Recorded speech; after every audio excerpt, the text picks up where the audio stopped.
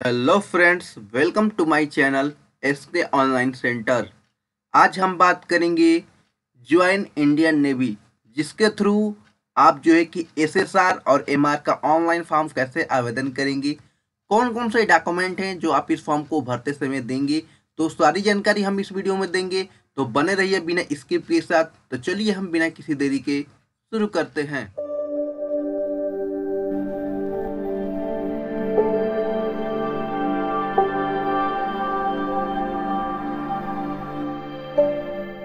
जैसा कि आप देख पा रहे हैं, ये इसका मेन साइट है, जिसका लिंक आपको वीडियो के डिस्क्रिप्शन में मिल जाएगा। आप वहाँ से इसके मेन साइट पे चले आएँगे।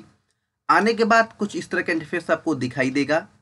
अगर आप पहले से रजिस्ट्रेशन कर चुके हैं तो आप अपना ईमेल आईडी पासवर्ड जो आपने क्रिएट किया है, और कैप्चर कोड फिल करके लॉगिन कर सकते हैं। अगर आपको पासवर्ड नहीं पता है तो फॉरगेट पासवर्ड भी आप यहाँ से कर सकते हैं, ठीक है? आप फ्रेश स्टूडेंट है, पहली बार इस फॉर्म के लिए आवेदन करना चाहते हैं तो रजिस्ट्रेशन। तो रजिस्ट्रेशन करने के लिए आप अपना ईमेल आईडी, आप यहाँ पे देख पा रहे अकाउंट इन्फॉर्मेशन दिया हुआ है, जिसमें आप अपना ईमेल आईडी, मोबाइल नंबर, आप अपना नाम, इससे, इसके बाद नेशनलिटी इंडियन है या नेपाली है, ठीक है, इसके बाद कैप्चर कोड इसके बाद रजिस्ट्रेशन, इस पर क्लिक करेंगे। जैसे ही हमने रजिस्ट्रेशन पर क्लिक किया, आप यहाँ पे देख पा रहे हैं you have successfully signing up we have send to confirmation link to your registration email id please click on the link to verify your email address ठीक है?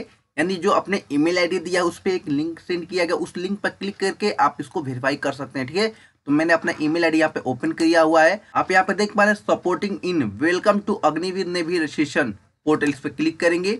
आप यहाँ पे देख पा रहे हैं, मेरा नाम आ गया है, ठीक है? इसके बाद हम इस वाले लिंक पर क्लिक करेंगे यहाँ पे। जैसा ही हम इस पर क्लिक करेंगे, आप यहाँ पे देख पा रहे हैं verify your mobile number captcha code fill करेंगे यहाँ पे, जो भी आपका कैप्चर कोड है, ठीक है? इसके बाद आप इसको वेरीफाई करेंगे। इसके बाद जनरेट ओटीपी इस पर क्लिक करेंगे ओके करेंगे। जैसा ही आप ओके करेंगे, आपके मोबाइल नंबर पे एक ओटीपी को सेंड किया जाएगा। ओटीपी आप फिल करेंगे। इसके बाद अपनी तरफ़ से एक पासवर्ड क्रिएट करेंगे, जो आप याद रख पाए। इसके बाद कैप्चर कोड फिल करेंगे। इसके बाद सबमिट पर क्लिक करेंगे। जैसा ही आप पासवर्ड को क्रिएट कर लेंगे, आप चले आएँगे इस वाले ऑप्शन पे। इसके बाद आप अपना ईमेल आईडी जो पासवर्ड क्रिएट किया, वो पासवर्ड फिल करेंगे कैप्चर कोड को फिल करेंगे, इसके बाद यहाँ से लॉगिन करेंगे। जैसे ही आप लॉगिन करेंगे, आपके सामने कुछ इस तरह का इंटरफेस आएगा, जिसमें आप सबसे पहले personal information additional information photo capture यानी आपका लाइव फ़ोटो खींचा जाएगा। इसके बाद कम्युनिकेशन डिटेल हाई स्कूल का क्वालिफिकेशन इसके बाद बारहवीं की क्वालिफिकेशन एग्ज़ाम सिटी चूज़ करेंगे, इसके बाद आप अपना पेमेंट करेंगे, इसके बाद ही आप अपना फाइनल प्रिंटिंग निकाल सकते हैं, ठीक है? तो आप यहाँ पर चेक कर सकते हैं। तो पर्सनल डिटेल में डोमिसाइल आपका किस स्टेट से वो स्टेट आप यहाँ से चूज़ करेंगे, जो भी आपका स्टेट हो, ठीक है? इसके बाद आप अपना ईमेल आईडी और आप अपना मोबाइल नंबर यहाँ से चेक कर सकते हैं। इसके बाद नीचे आएँगे हम। नीचे आने के बाद आप अपना आधार नंबर यहाँ से फिल करेंगे। इसके बाद अल्टरनेट कोई दूसरा मोबाइल नंबर है तो आपको फिल करना है। इसके बाद डेट ऑफ़ बर्थ यहाँ से फिल करेंगे, जो भी आपका डेट ऑफ़ बर्थ हो, ठीक है? आप यहाँ से 2003 से लेके 2007 के बीच में जो भी आपका डेट ऑफ़ बर्थ हो, आप यहाँ से फिल कर सकते हैं। नीचे आएँगे तो आपको दिखाई देगा एनसीसी कैंडिडेट अगर है तो इसको टिक करिए, अगर नहीं है तो अनटिक करा देते इसको, ठीक है? अगर इनमें से तीनों में से कुछ है तो इसको चूज़ कर सकते हैं। इसके बाद नीचे आएँगे तो आप अपना फ़र्स्ट नेम मिडिल नेम इसके बाद लास्ट नेम यहाँ से फिल करेंगे। इसके बाद पेरेंट्स का नाम यहाँ से फिल करेंगे, जो भी आपका पूरा नाम हो पेरेंट्स का। गार्जियन का नाम यहाँ से फिल करेंगे, जो भी आपका गार्जियन का पूरा नाम हो, ठीक है? इसके बाद जेंडर चूज़ करेंगे मेल है या फीमेल जो भी आपका जेंडर हो, आप यहाँ से फिल कर सकते हैं, ठीक है? इसके बाद नीचे आएँगे तो identification mark one identification mark two आप यहाँ से फिल करेंगे। इसके बाद अपलोड फोटोग्राफ पासपोर्ट साइज़ का फ़ोटो आप यहाँ से अपलोड करेंगे सिग्नेचर अपलोड करेंगे, जो जो भी आपका सिग्नेचर हो। इसके बाद डोमिसाइल निवास प्रमाण पत्र आप यहाँ से अपलोड करेंगे, ठीक है? इसकी साइज़ क्या होगी? सौ के बीच से कम का होना चाहिए। जो कि आपका जेपीजी आपका पीएनजी इमेज में होना चाहिए। पीडीएफ फ़ाइल आपका अपलोड नहीं किया जाएगा, ठीक है? उसी प्रकार इसमें भी आपका जेपीजी और पीएनजी इमेज अपलोड किया जाएगा।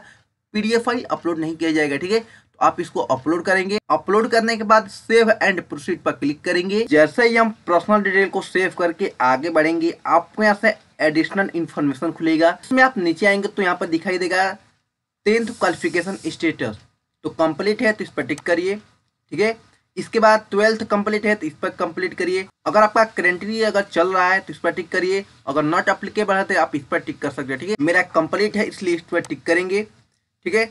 आईटीआई क्वालिफिकेशन स्टेटस अगर आपके पास है तो इसको टिक करिए यस अगर नहीं है तो यहाँ पर नो कर सकते हैं। डिप्लोमा क्वालिफिकेशन स्टेटस अगर आपके पास है तो यस करिए, वरना नो करिए। मेरे पास ये दोनों नहीं है, ठीक है? इसके बाद नीचे आएँगे तो select the post you are applying किसके लिए आप जो कि अप्लाई करना चाहते हैं एस के लिए या एमआर के लिए? ठीक है, या दोनों के लिए। जिस भी पोस्ट के लिए आप ऑनलाइन करना चाहते हैं, इस पर टिक कर सकते हैं। तो मैं जो है कि एमआर के लिए ऑनलाइन करना चाहता हूँ, ठीक है? इसके बाद अगर एसएसआर के लिए ऑनलाइन करना चाहते हैं तो आप इस पर भी क्लिक कर सकते हैं, ठीक है? अगर एसएसआर के लिए ऑनलाइन नहीं करना चाहते तो आप इसमें नो करिए। यू अप्लाई फॉर एमआर तो यस मुझे करना है।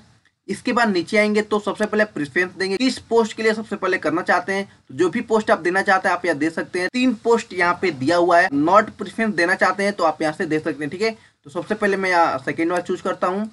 इसके बाद यहाँ पर ये चूज़ करता हूँ उसके बाद यहाँ पे ये चूज़ कर लेता हूँ, ठीक है? इन्होंने इंग्लिश में लिखा हुआ है, मैं आपको हिंदी में बता देता हूँ। क्या आप एमआर के लिए प्रायोजित उम्मीदवार हैं? अगर है तो यस करिए नो करिए तो मैं नहीं हूँ, इसलिए नो करेंगी। इसके बाद क्या आपके पास एनसीसी सर्टिफिकेट है? अगर है तो यस करिए।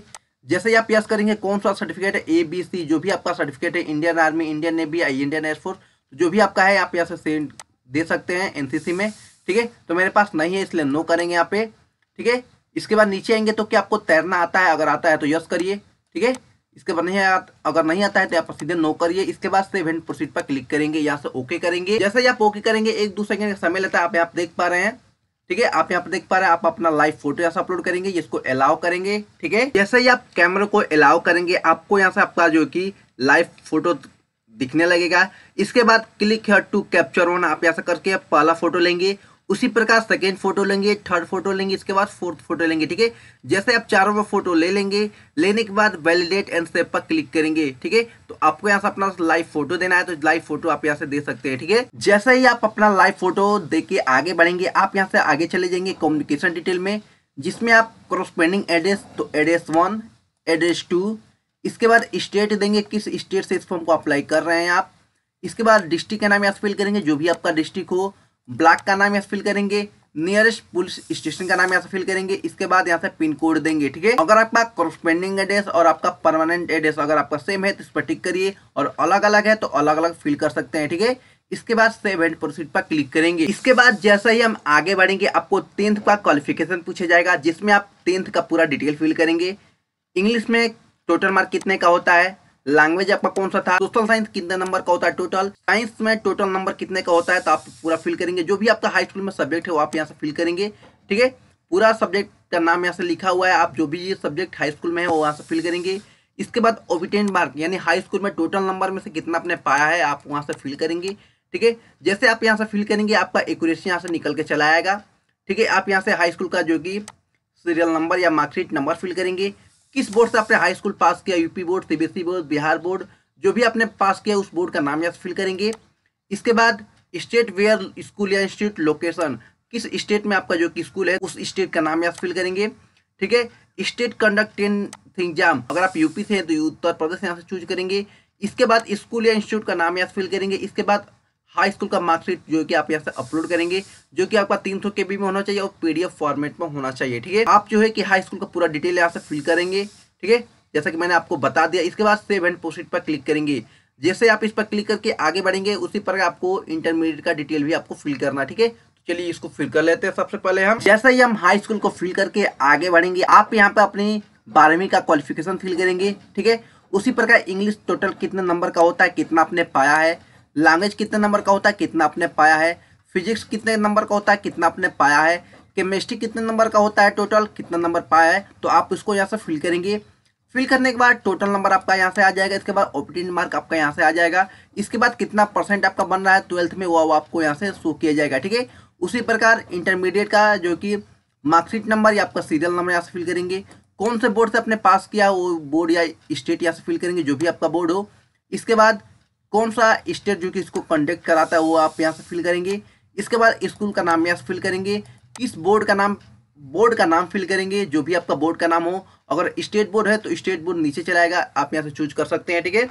जैसे आप स्टेट बोर्ड चूज़ करेंगे, आप यहाँ से चले आएँगे। इसके बाद बारहवीं की मार्कशीट यहाँ से अपलोड करेंगे, जो भी आपका हो। इसके बाद इसको सेव करके नेक्स्ट पर क्लिक करेंगे। जैसे ही आप इंटरमीडिएट के क्वालिफिकेशन को फिल कर लेंगे, आपको एग्ज़ाम सिटी चूज़ करने का ऑप्शन आएगा, जिसमें exam city one, exam city two, इसके बाद एग्ज़ाम सिटी थ्री, यानी तीन प्रेफरेंस आपको दिए जाएँगे जिनमें आप तीनों को चूज़ करेंगे, ठीक है? जैसे मैं यूपी चूज़ करता हूँ सबसे पहले तो ठीक है? यूपी में सबसे पहले आप कहाँ देना चाहते हैं? यूपी यहाँ से चूज़ करेंगे। इसके बाद सिटी के देना चाहते हैं कहाँ? बनारस, प्रयागराज, मेरठ, लखनऊ या कानपुर। जहाँ आपके शहर से नज़दीक हो, आप यहाँ से चूज़ करिएगा, ठीक है? मैं यहाँ पर नीचे आएँगे, फिर से मैं यूपी चूज़ करता हूँ, ठीक है? इसके बाद सेकेंड ऑप्शन यहाँ से चूज़ करेंगे। बनारस के बाद मैं यहाँ से प्रयागराज चूज़ कर लेता हूँ। ठीक है? फिर से मैं यहाँ से यूपी चूज़ कर लेता हूँ, क्योंकि मेरा जो कि नज़दीक पड़ता है, ठीक है? इसके बाद मैं यहाँ से, इसके बाद मैं यहाँ से लखनऊ चूज़ कर लेता हूँ, ठीक है? तो तीनों मैं यहाँ से चूज़ कर लिया। इसके बाद सेव एंड प्रोसीड पर क्लिक करेंगे, यहाँ से ओके करेंगे। ओके करने के बाद पेमेंट वाले ऑप्शन पे चले जाएँगे, जिसमें आप इसको पूरे अच्छे तरीके से चेक कर लेंगे। आपने जो भी डिटेल फिल किया, सब कुछ सही अगर कुछ भी गलत होता है तो आप बैक जाके इसको एडिट कर सकते हैं, ठीक है? इसके बाद नीचे आएँगे हम। नीचे आने के बाद आपका पूरा डिटेल यहाँ से दिखाई देगा, ठीक है? इसके बाद आपका कितना पेमेंट लग रहा है? तो पेमेंट आपका छः सौ उनचास रुपये आपका पेमेंट लग रहा है। तो किसी भी माध्यम यूपीआई एसबीआई नेट बैंकिंग किसी भी माध्यम से आप यहाँ से पेमेंट कर सकते हैं, ठीक है? तो पेमेंट करने के लिए आप इस पर टिक कर सकते हैं। इसके बाद अपना पेमेंट करके फाइनल प्रिंट आउट निकाल सकते हैं फ्यूचर रिच के लिए फ्यूचर रेफरेंस के लिए, ठीक है? तो आपने देखा किस तरह से हमने ज्वाइन इंडियन नेवी के लिए एसएसआर या एमआर के लिए ऑनलाइन आवेदन किया। स्टेप बाय स्टेप सारी जानकारी आपको प्रोवाइड की। तो आशा है ये वीडियो आप सबको पसंद आया होगा तो लाइक करिए कमेंट करिए, और ऐसा इन्फॉर्मेशन वीडियो देखने के लिए हमारे चैनल पर बने रहिए। जय हिंद दोस्तों।